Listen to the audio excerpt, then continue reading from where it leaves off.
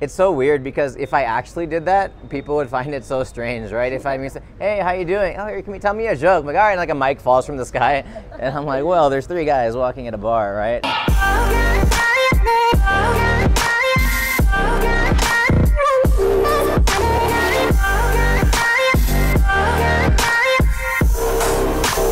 Aren't you glad to meet me?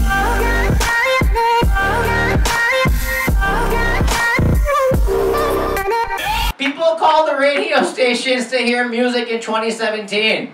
My favorite, though, with radio stations is people who are dating or married or whatever. They call the radio stations to get marriage advice from an RJ. I think I was always the funny one growing up, but I never realized that could be a career option.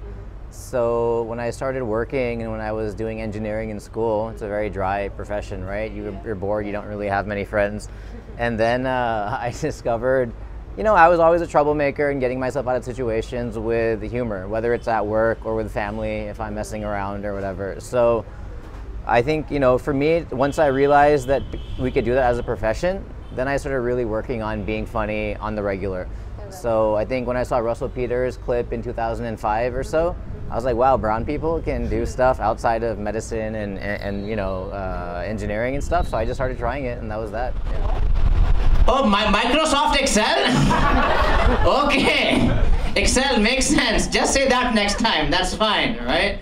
Oh, So it's interesting. Like with comedy, it's a lot about what you're going through as a person, and then also like what people your age are going through, and then what society is going through. So when I started doing comedy, like everything up until that point was about being single. And then the second I started doing comedy, in fact, around this area Indiranagar, I got a girlfriend for four years.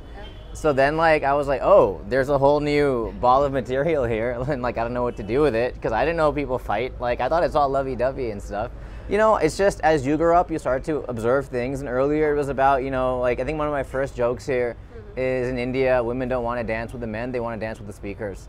like, and I would play on that because I was just observing how they were are at places like the Humming Tree. Um, and then I got more mature about things and like, you know, how my mom might meet somebody or, you know, things that are happening at work or, you know, there's a 40 year old guy at my office who didn't know how to tie a tie and he ran up to me crying, like, mommy always does it, you do it for me. So it's just like, as you grow up, your comedy matures and kind of grows up as well. Like, I'm not going to talk about being in a boys' hostel and like trying to trade CD-ROMs and stuff, you know, that, like, I'm not 15 anymore. But I'm, you know, I'm also not going to talk about Donald Trump's like super politics, you know, because that doesn't interest me as much as what I'm going through. Okay, and where are you from? Uh, You're from UP.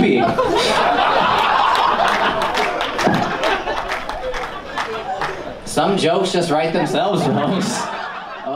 My goodness. I think in this country, especially because comedy is just six, seven years old, you know, if a comedian is trying to make a very eloquent point, I mean, you can definitely joke about everything. So things like abuse, poverty, rape, women, like women's rights. If you have a good take on it, it's fair game. But if you're just doing it for shock value, you're gonna piss people off and you're gonna have no no taste. You know. Because I'll be swiping, right? Like, ooh, Pooja, ooh, Divya, ooh, Priyanka, and all of a sudden, ooh, Samir.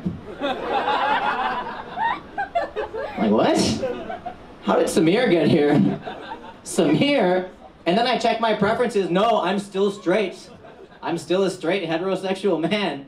But I feel like Tinder's like, yeah, Sanjay, we know. When you first start, you think every day I'm gonna come to Humming Tree and I'm gonna I'm gonna have my coffee here and my notepad here. I'm gonna start writing like eat, pray, love, three hours a day, and I'm gonna be awesome.